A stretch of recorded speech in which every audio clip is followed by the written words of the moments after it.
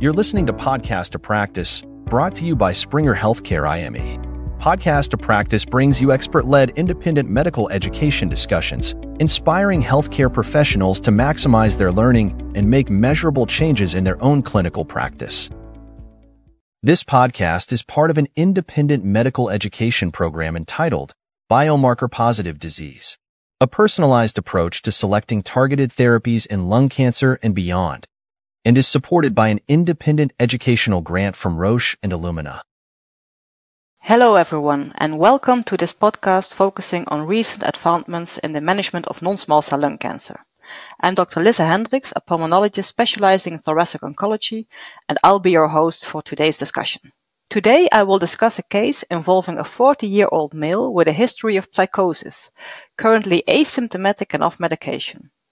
He is an ex-smoker with a 10-pack year history, presenting with a cough and dyspnea. A chest X-ray revealed a tumor in the left parahilar region. PET-CT imaging identified FDG positive multiple small lung nodules, a parahilar left tumor, and multiple bone metastases without a soft tissue component. Bronchoscopy with brush and washing confirmed non-small cell lung cancer subtype adenocarcinoma, but insufficient tumor cells were available for molecular analysis on PD-L1 testing. A liquid biopsy showed no oncogenic driver mutations. The patient was diagnosed with a CT24N0M1C non-small cell adenocarcinoma. So how to proceed with this patient? Do you have sufficient information to treat the patient? Would you like to have PD-L1? Would you like to have molecular analysis or do you trust a negative liquid biopsy? Well, first let's discuss the implications of a negative liquid biopsy.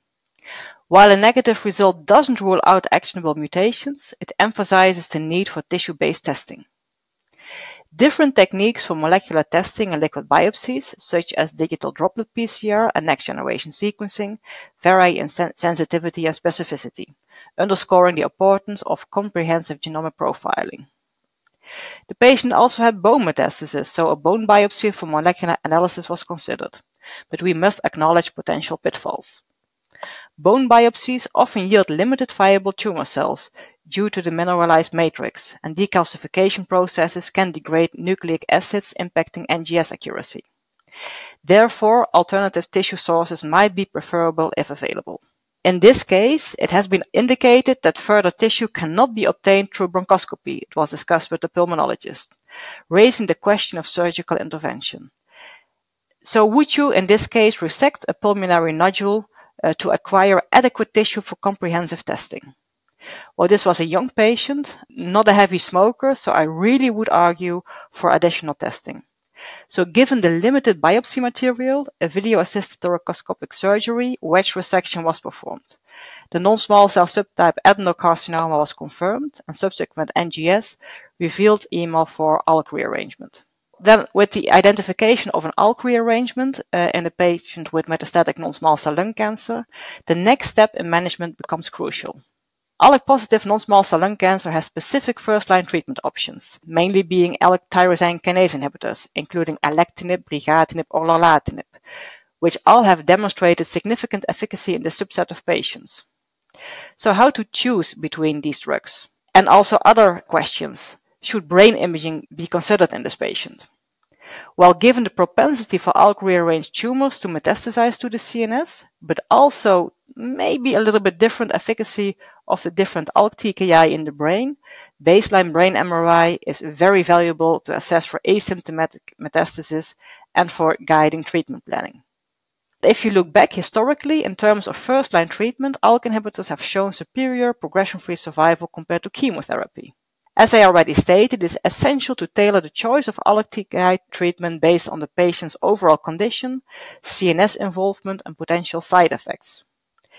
I think it's important we know from the recent update of the CROWN data, the five-year survival, that it was very good to control the CNS with a hazard ratio of below 0.1. I think this is better than you can achieve with alectinib or brigatinib, but I think in this case, the major drawback of lorlatinib would be the history of psychosis of this patient, because we know that uh, lorlatinib can cause neurocognitive and psychiatric side effects.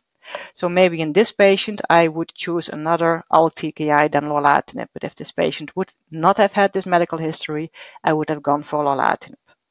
Unfortunately, even with a very long disease control, in the end, patients will have progressive disease.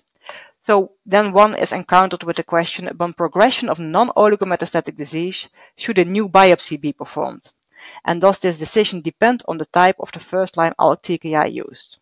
I think in general, you can debate it uh, after lorlatinib uh, because there are no registered and approved ALK-TKI upon progression on lorlatinib. But in general, I think acquiring a new biopsy, whether liquid or tissue, but tissue if liquid is negative, is critical to detect resistance mutations and guide subsequent lines of treatment.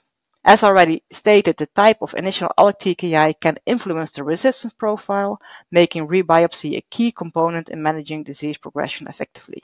My main conclusions and takeaways are that molecular analysis should be performed for all non-squamous non-small cell and especially for young patients with a low or never smoking history, but really for all non-squamous.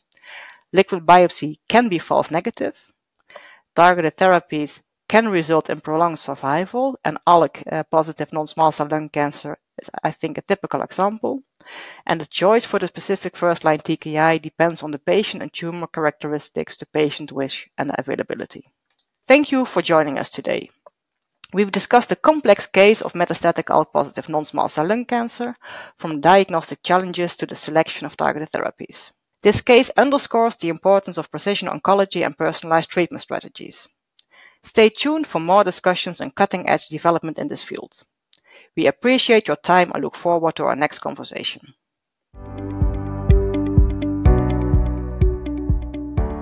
Thank you for listening to Podcast to Practice, brought to you by Springer Healthcare IME.